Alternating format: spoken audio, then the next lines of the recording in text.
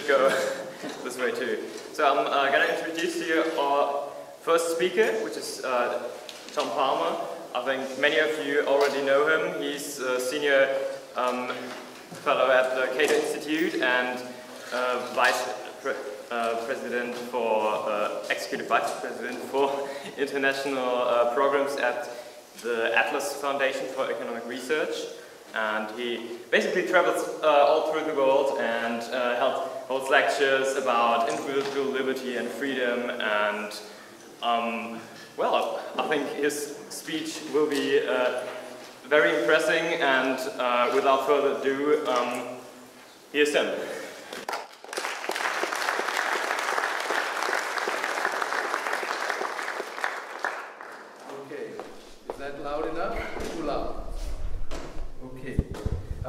Auf Deutsch. Ich freue mich wieder in Köln zu sein, das heißt in einer Stadt von. Aber ich, ich wiederhole. So I'll continue in English for the benefit of the whole audience and also so I don't make small grammatical mistakes that will cause laughter uh, in the room. I picked a, a topic that I think was relevant to this audience because what Students for Liberty represents is a new generation standing up for timeless principles. And some people think that we should just refight the old battles of the past. But the Soviet Union is gone. We won against that kind of socialism. And now there are new challenges, some of which were not anticipated by previous generations. And so this is your path now to work through. I mentioned a path to blaze. Blaze is an interesting word in English. It's not related to fire, fire blazes. It refers to marking a trail.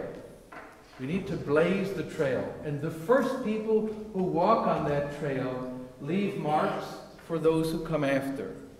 And that's really going to be your job to blaze the trail for liberty in the 21st century. Now, that path that is before us uh, contains it's something that generations have already uh, dealt with in the past.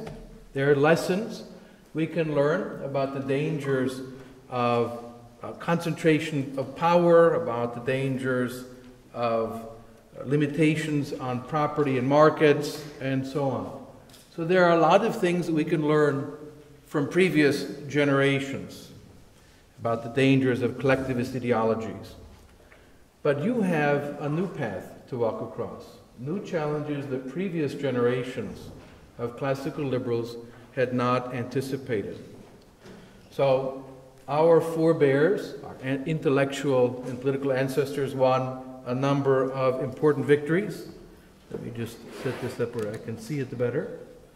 Uh, and we should remind ourselves in some moments when we become a little bit depressed because we lost a battle, because we see bad things happening around us, the degree to which we have already won. Fareed Zakaria put it very neatly. He said, classical liberalism, some people tell us, has left the scene. We hear this from professors such as Michael Sandel at Harvard University. Why bother with classical liberalism? It doesn't exist. That's not true, but also it exists all around us. The modern world is the result of the successes and the struggles of our forebears. You just think about how different the world is because of that. So at any time when you feel, oh, I'm depressed because the tax rate was raised a little bit, or a government did some illegal activity, or there's some problem on the horizon, do remember to take the wider perspective and see how much the world has changed. Even just in my lifetime, and I'm not that old, I'll be 80 sometime in the future. Even in just my lifetime, the increase in human liberty has been astonishing, really remarkable. So when you are ever depressed, remember, as Fareed Zakaria put it, if you want to find the monument to liberalism, just look at the world around you, which was created by liberalism. Now, there will always be new threats to liberty on the horizon, This is why I remember when Francis Fukuyama published his ridiculous and absurd book, The End of History, I thought this cannot be true. And shortly after, the rise of radical, politicized Islamism emerged as a political threat to liberty in the Islamic world. Unanticipated. It couldn't have happened. History came to an end, but it didn't. There will always be people who desire power over other people. There will be new ideologies that they will invent to justify that power. Things so crazy they haven't occurred to anyone yet. But human beings are very creative in this regard. There will be new anti liberal ideologies in the future. There will be new ways of exercising power over other people. There will be new technologies of control, some of which we cannot anticipate today. But they will emerge. But at the same time, there will be new opportunities to advance liberty, some of which may be difficult for us to imagine today. There'll be new developments in social science. The social sciences aren't finished. Social science did not come to an end when Ludwig von Mises finished The Last Word in Human Action, as good a book as it is. A lot of other things remain to be said and still remain to be said. There'll be new ways to be free that perhaps we haven't thought about because we haven't thought about the ways to control people. New frontiers in liberty, new technologies of liberation. Think about the, the role that Twitter has been playing in people challenging state power. Imagine you were to describe that to your grandparents. And you can say, well, the first revolutionary tweet was sent out on August 8th. They'd look at you. What are you talking about? What are you talking about? These new technologies are changing the world today, and there will be others we have not anticipated. Remember, technology also cuts both ways. It can be used as a tool of power, and it can also be used as a tool of liberation. And it's your generation who will try to understand how new technologies can be used as tools of liberation. So, a little bit about blazing a trail, the challenge that you face, I'd like to talk a bit more about the liberty that we seek. What are the institutions of liberty, the benefits of liberty, and then finally our commitment to these timeless principles. One way to understand the classical liberal or libertarian synthesis is to see it as made up of three very important parts or supports. First is the idea of individual rights. And this has been justified by philosophers and theologians in many different ways. Whether we have them as gifts from God, whether they're inherent features of our nature as rational beings, because of our moral agency, one could discuss this, and people have been talking about this for a long time. But the key is human beings as moral agents are not things in the world, like the computer, or like my watch, or like a chair. This is how our rulers consider us. We're assets of the state. We're things for them to move around. We should remember every human being is unique and precious. There will never be another human being exactly like you. You're it. You're the one shot you have to lead a life. And that is true of everybody. And people have the right to be treated with dignity as moral agents. Now, the response of those who advocated absolute power was to say that will create chaos and disorder. And historically well documented, when people began to talk about individual rights, the response is, oh my God, that would be anarchy. You can't have that. You do what you want, you do what you want. There'll be no order. There must be a boss, a king, an emperor, a commissar, a president, someone to create order.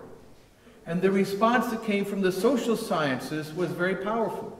The idea that order can be spontaneous. Not all the order is the product of conscious human design, and order does not require violence. There can be order without violence. This is a very important insight, and it supports the idea of individual rights. But now the third leg, if you will, is the idea of limited government or for those who think we shouldn't have a monopoly in law, some system of law. Some system of law that helps us to define our rights, so I know what is mine and what is yours, and then to protect them from predators. And in particular, why I emphasize constitutionally limited government, or Rechtsstaat, is the idea that the state itself should be limited because states can be very powerful predatory institutions as well. If you think about these as like a chair, each leg gives support to the others. If you had only one leg on this little chair, it would fall over. Two, it will still fall over. Three, and it makes it stable. Individual rights for every human being. Order can emerge spontaneously without violence when rights are well defined and legally protected. So, those three elements from moral philosophy, or moral theology for some, from social sciences, and then from political science and law.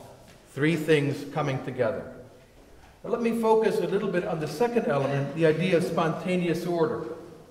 This is often associated with such figures as Adam Smith, Wilhelm von Humboldt, there's the great distinction of proving Albanian was an Indo-European language, which is actually harder than it looks, and talked about the spontaneous order of language.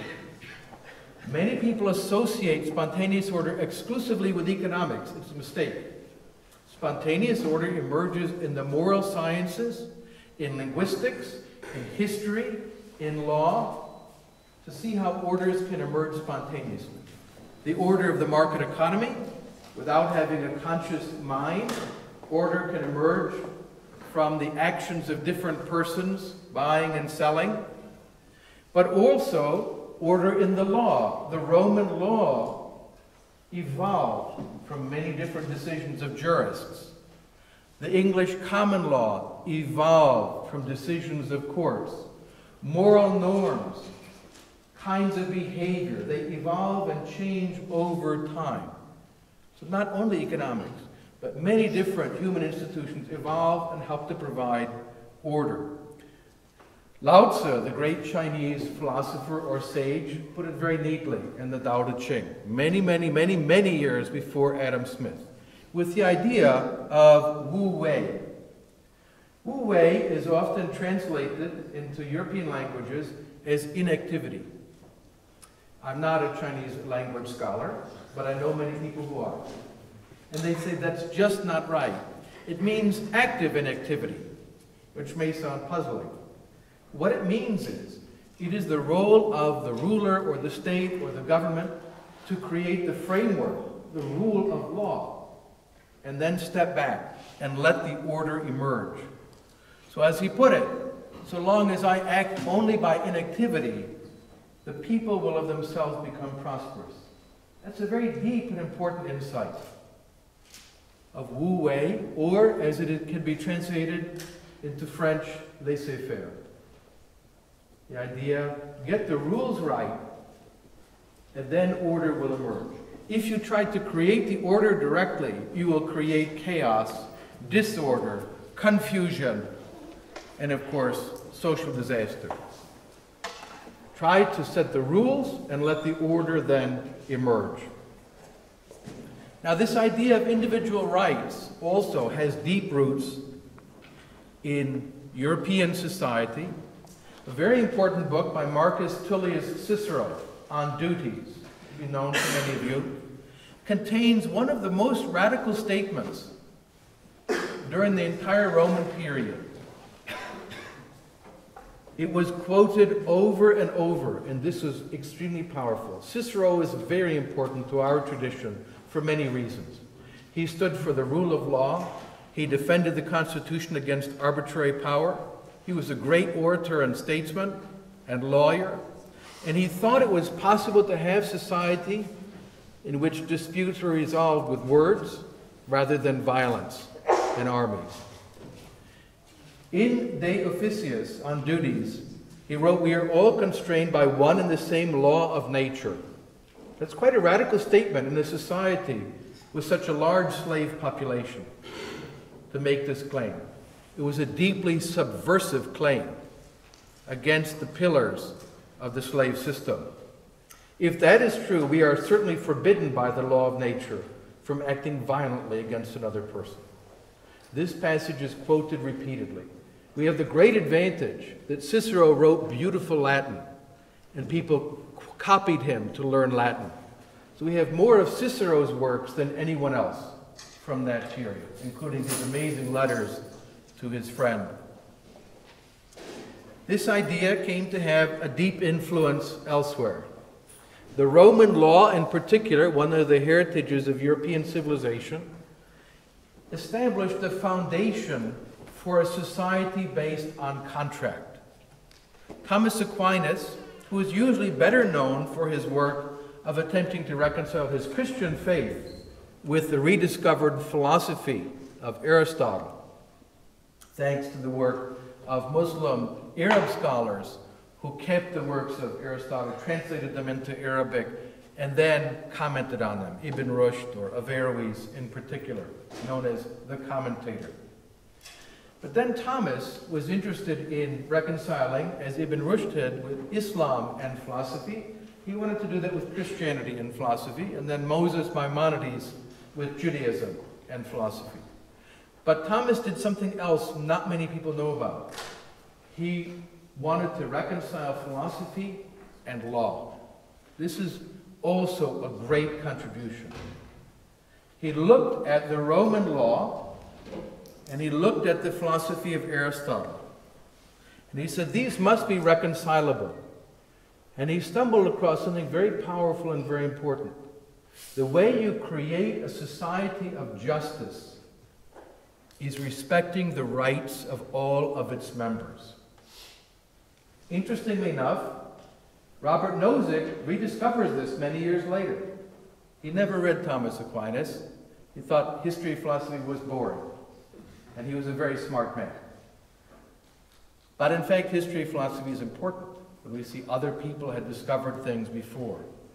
As he pointed out, the act of justice in relation to its proper matter and object is indicated, and he quotes Isidore of Seville, rendering to each one his right a man is said to be just because he respects the rights of others. And a just society is an unpredictable order. If we respect everyone's rights, the outcome will be just, even though it is not predictable. Now, later, social democratic theorists such as John Rawls tried to cut this relationship between respecting rights and what they call social justice. And that's very important. They're missing something. They effectively want to get rid of individual rights altogether, eliminate them from the social system. What they want is social justice, and as Rawls and others admit, even if you respect the rights of everyone, the outcome will be unfair according to their criteria. And therefore, you have to go in and correct it using force, which means there aren't any individual rights anymore. There's the power of those who decide what is the just outcome. But Thomas wanted to focus us on what Ludwig von Mises later called and Hayek the knowledge problem. No human being can know what is the just social outcome. It's not possible. It's too complicated. No one could grasp that. But I can know what is mine and what is yours. And I can understand the basic rules of civil behavior. If I understand that, and we all follow them, the outcome will be just, although no one could have predicted it. Now, at a deeper philosophical level, the idea of a right of a human being as such, not merely my right to this land or this table, but my right as a human being, emerges when the Europeans begin to ask about the rights of non Christians. And a very important legal decision of the lawyer Pope Innocent IV, about the year 1250, the question was raised in fights in the Holy Land. Can you kill infidels, Muslims and Jews, and take their land and enslave them because they are not Christians? He said, absolutely not.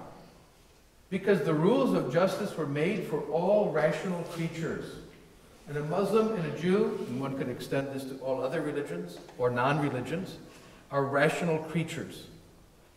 Now, as we know, in the history of the Crusades or Jihad, war for the cross, or war for the faith, many horrific crimes were committed on both sides.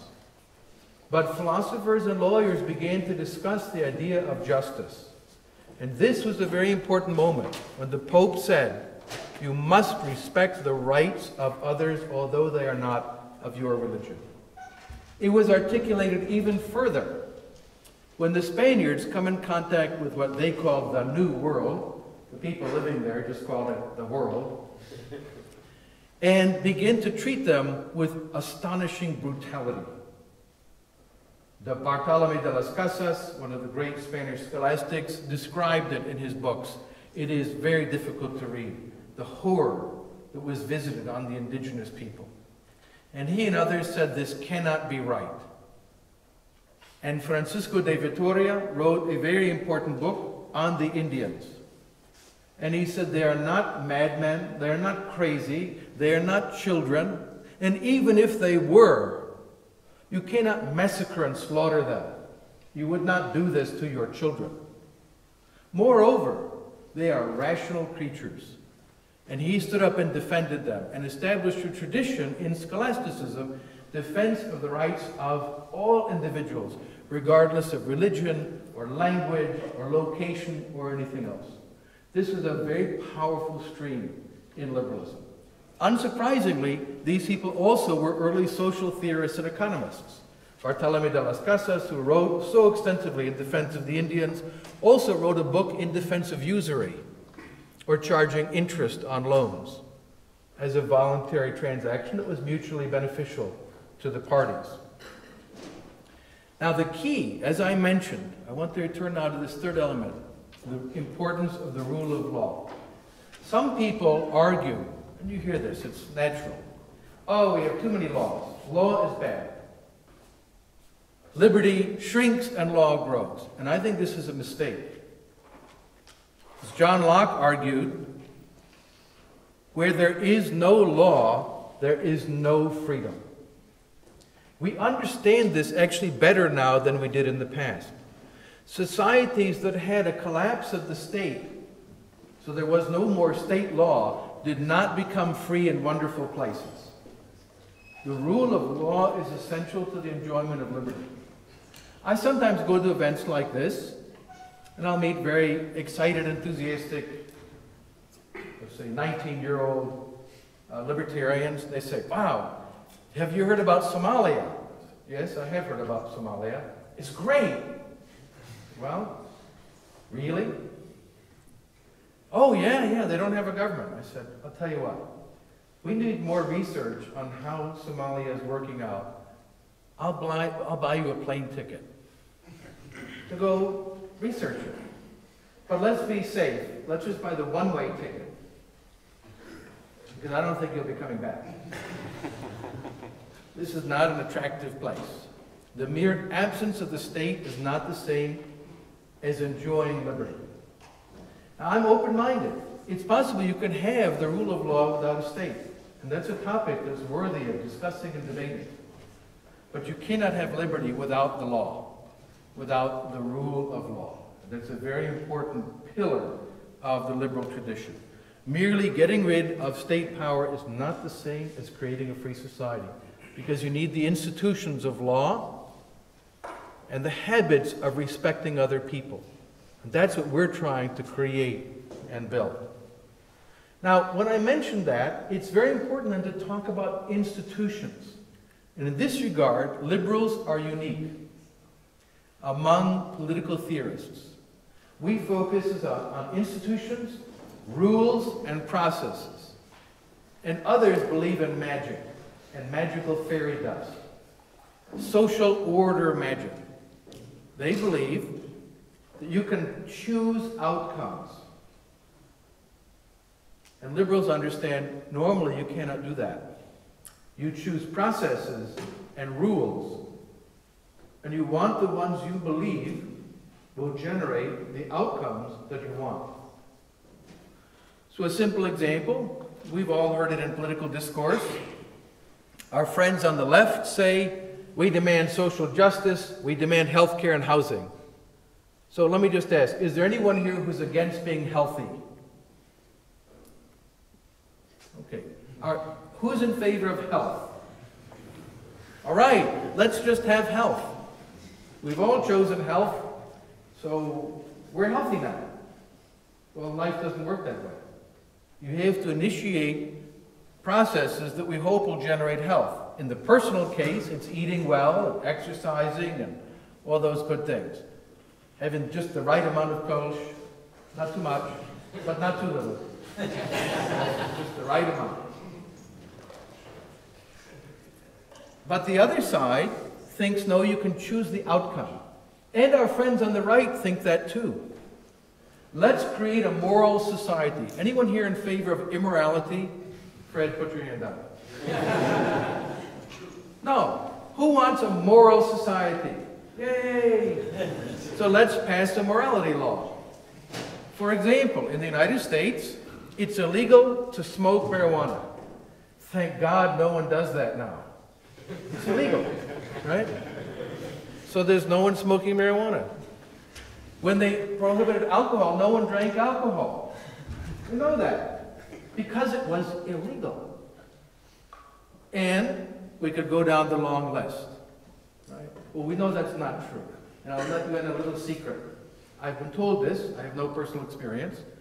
If you were to want to buy illegal drugs, here are the two places you can buy them the fastest high school and prison.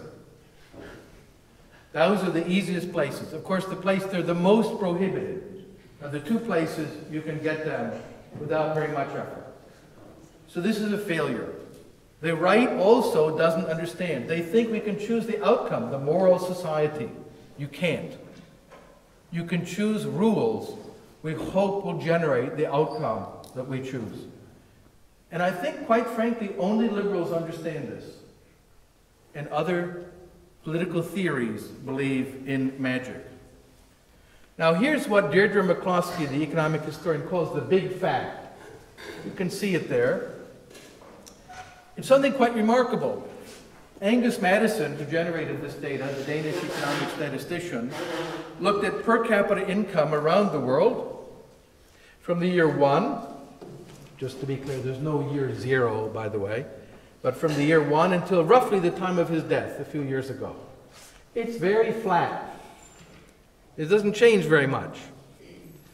If you look carefully, you can see a little rise in the period of what is called in Europe the High Middle Ages, roughly the 13th century up to the 15th. In India, the growth of southern India trade and the southern Sung dynasty in China huge increases in well-being. It collapses in the 17th century, during what is called the general crisis of the 17th century. In Europe, war, the 30 Years' War from 1618 to 1648, was hor a horror. Entire regions of Germany, Bohemia, were completely depopulated. Every human being was killed. This was a real disaster. Contrary to Paul Krugman, war does not create prosperity as history has shown. But then it recovers, and about between 1800 and 1820, something astonishing happens. The world changes. It changes later in some parts of the world and to a lesser extent, but every place in the world was richer than it had been.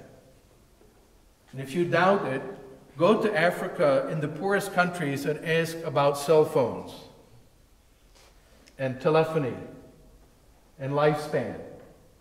Even in the worst places of the world, human life is better than it had been before the great fact that Deirdre talks about. Now, what made that possible? State socialism, state commands, central planning? No. I recommend Deirdre McCloskey's last book, most recent one, uh, which is fantastic on this question. She checks every theory of economic growth I'd ever heard of, and some I had not, and they failed to explain it. The discovery of coal, the slave trade, the discovery of the transatlantic trade, and on and on. She says none of these can explain this. Some of them are contrary to it, and some will explain a little economic growth, but not 16 times per capita income in a very short period of time. So, what accounts for the big fact? A new civilization began to emerge. As Joseph Schumpeter put it, it was the first time there was a business respecting civilization in which it was considered honorable to create value, to create wealth through voluntary exchange. That had always been considered dishonored and below the warrior class. True honor was to kill people in war. And for the first time, it now became honorable to make money not by enslaving and murdering other people, but by making buttons for coats, by making shoes, by growing food. These are now considered honorable and respectable activities. To understand that helps to talk a little bit about, just a tiny bit, about game theory and different payoffs in games. We're all accustomed to the zero sum game. Many people believe we're surrounded by zero sum games. The sum of the payoffs is equal to zero. So, if, for example, Clemens here, Mr. Schneider, let's say that he were to come up and he takes my wallet out without me looking and he takes out 20 euros. He has 20 euros. I now have negative 20 euros. Add them together, it's zero. My loss is equal to his gain. Most people think that's how the world runs. They think they're all around us. In fact, zero sum games are extremely rare. They're very, very rare.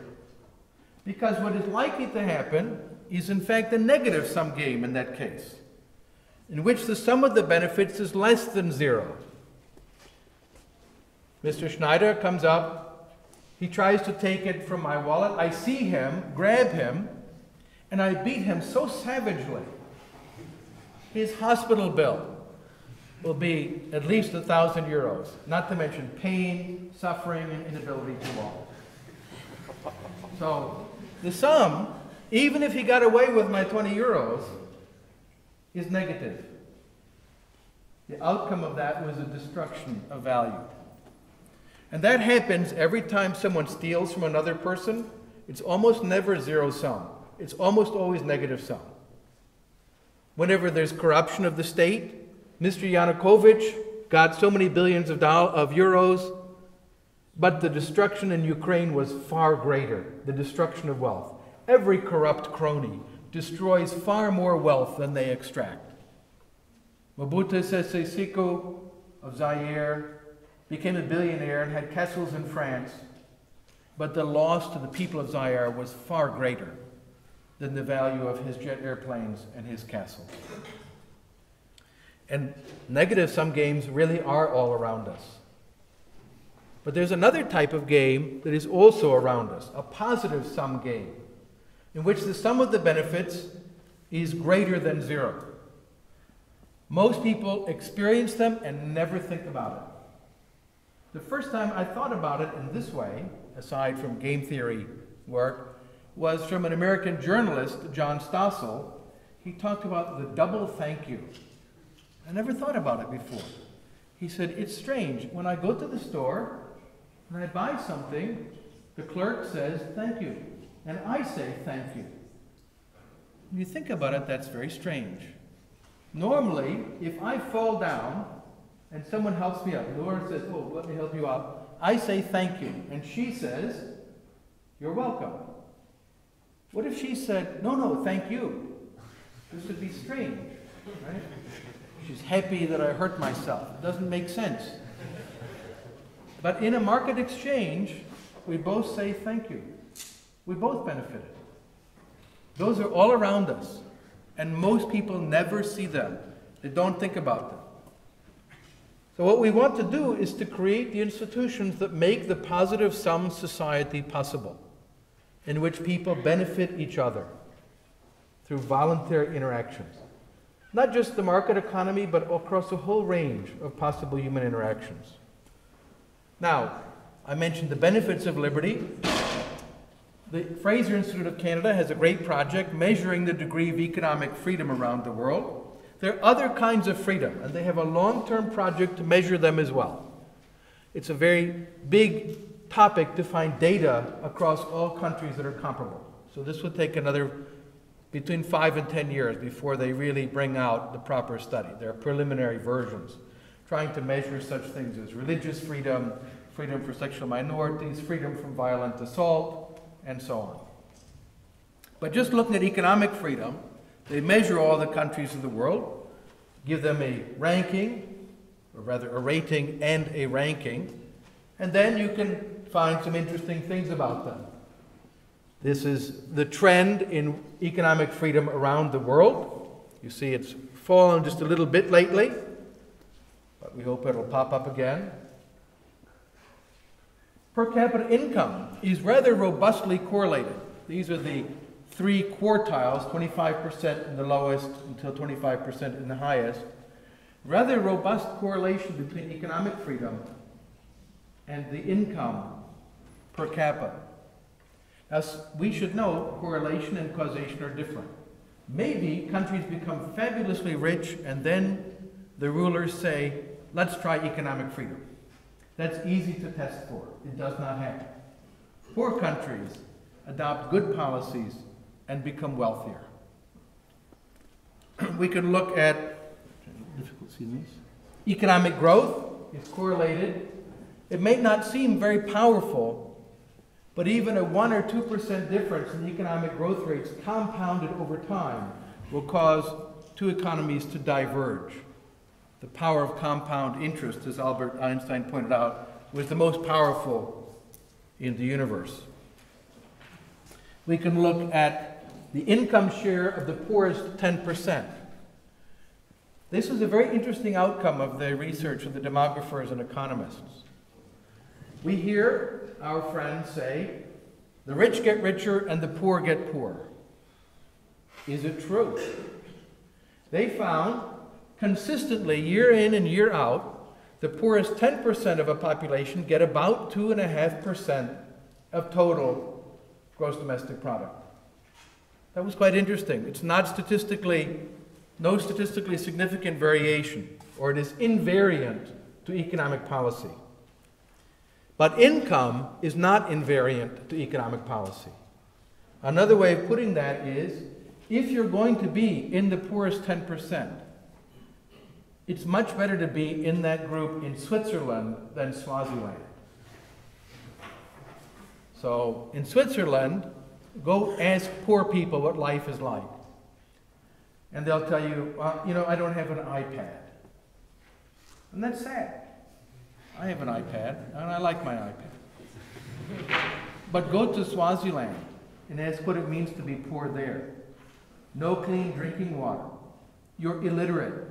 You held your baby daughter in your arms when she died of a disease no one in Switzerland dies from.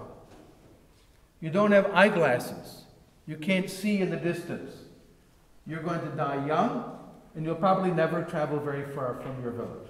That's the difference between being poor in a country without economic freedom and being poor in a country with it.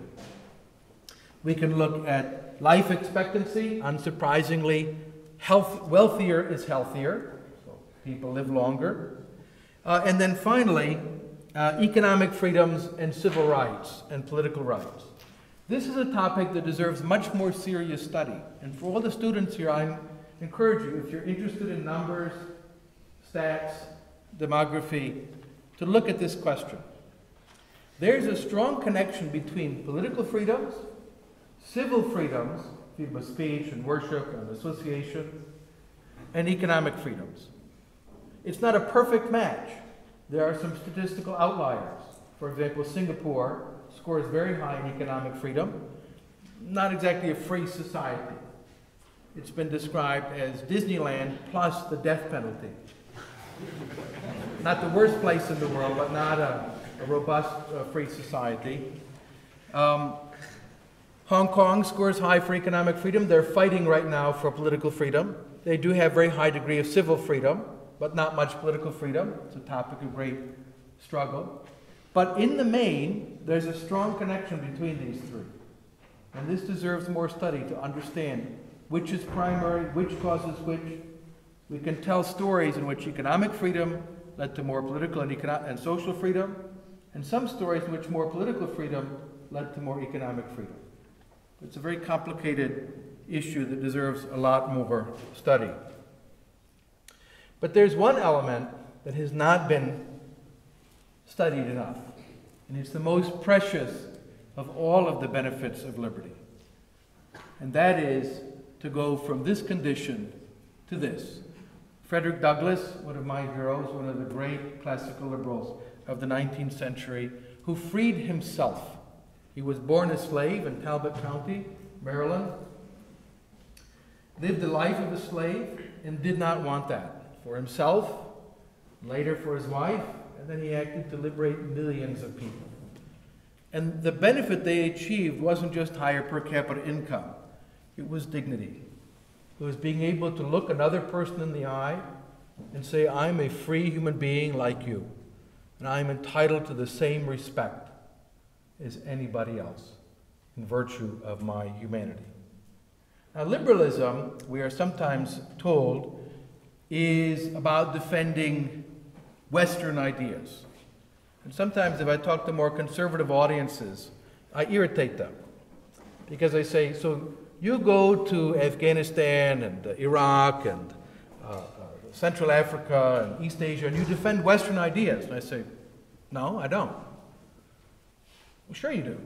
I say, Well, here's some Western ideas. Mussolini. I don't think he was Iraqi, he was Italian. And Karl Marx, the great Chinese thinker. Uh, these are Western ideas also. So, what they have in mind is Western ideas means equality before the law, personal freedom, toleration, and so on. But it also means fascism, communism, National Socialism, nationalism, and all kinds of really bad, scary things. So, which are the Western ideas? It's cherry picking to pick only the ones we like and call those Western. Our Chinese friends always insist, they say, in the history of Chinese thought, many foolish things have been written, but no one was crazy enough to promote communism. that came from Germany. so do not call that a Chinese idea. Um, and indeed, all societies, and this is a very important principle of everything that I do, every social order has a narrative of freedom and a narrative of power. And it's our job to help our friends uncover the narrative of freedom in their own society. There are no societies that are uniquely power based. In Russia, to take an example, people sometimes talk about, oh, the, the importance of the strong hand. Use the term Russians use. Strong hand. It's a strong hand society. They have a tradition of freedom as well. Novgorod, great free city, a Hanseatic city of Russia, but extinguished by the powers of Ivan III and Ivan IV, two monstrous tsars. But there is a tradition of Russian liberty and Russian liberalism as well. And our Russian friends are struggling to connect to that. And indeed, the very first word for liberty, amargi, comes from contemporary Iraq, from Lagash, which is today the village of Tello in Iraq. And I did check I recommend this very highly, by the way. I went to double check, I knew the correct meaning of this. I went to the Eötvös Loránd Tudományegyetem in Budapest, where they have the great Department of Sumerology. And I said, I want to make sure before I get this tattooed on my body, it means liberty and not kick me or something like that. and they said, yes, undeniable. It means individual liberty as you understand the terms. Okay, cool. I got the tattoo. You should always do that. And don't tattoo Asian words ever until you check with someone who reads Chinese or Japanese or Korean. Because if you get it backwards, it's really embarrassing. Or as I saw on the internet a while ago, a picture what if Asian people put Western words as tattoos. It has a picture of a beautiful lady looked like this and a, a word that said water on her arm. So I'll conclude with some thoughts about liberalism. There's something unique about liberalism. It's the only political theory that establishes the idea of liberty for everyone, not just me or people like me, but every human being is entitled to this. Joaquim Nabuco, one of the great Brazilian liberals, who struggled his whole life for liberty, put it very neatly. You should love the freedom of other people. That's what it means to be a liberal. Now, you've seen this sign from the American Revolution. It's very clear. The snake says, Don't step on me, I'll bite you. People think of that as a libertarian or liberal attitude. But I think it's only part of the story. And Students for Liberty, one reason I love this organization so much, they took the basic idea of liberalism and made it into a t shirt. Don't tread on anyone, not just me. Don't tread on anybody. That's the real liberal view. So I'm going to conclude with one thought on the tradition that you have inherited. It's your chance to continue it. We think of great figures such as these. I think these images are known to you. Others from the 20th century, Rose Wilder Lane, Ayn Rand, Friedrich Hayek, uh, the two Friedmans, Milton and Rose, Robert Nozick. But I want to introduce you to a dear friend of mine who just uh, uh, left us, Leonard Liggio. He was at the Atlas Network. He was a great liberal, a great scholar, a really wonderful human being. I've known him for 37 years, since I was fairly young, and he was my teacher. I learned a great deal from him. This was 20 something years ago in France at a conference. Uh, he just died recently at a very advanced age. Uh, he was a quintessential libertarian scholar. But I want to remind us of something. All the time I've known him, I thought of him as old, because he was older than I am, and that's how things are. But old people weren't always old. This is him with Murray Rothbard and other friends. In the very early 1950s, he was a student for liberty. That's him in the upper corner there. He founded in 1951 the first libertarian club at Georgetown University. And he blazed a trail for you.